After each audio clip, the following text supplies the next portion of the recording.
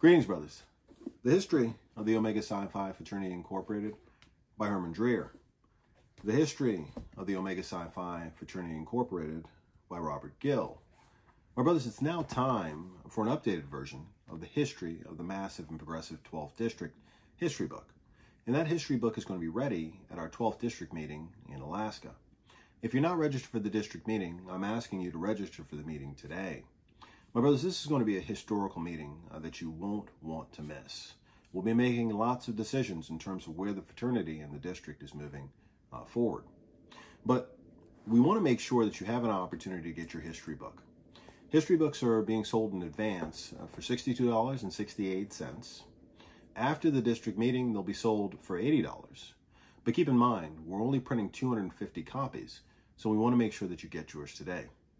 There's a link in this email as well as a link uh, below uh, for you to use the QR code to be able to get uh, your copy of the history of the massive progressive 12th district. My brothers, please don't delay.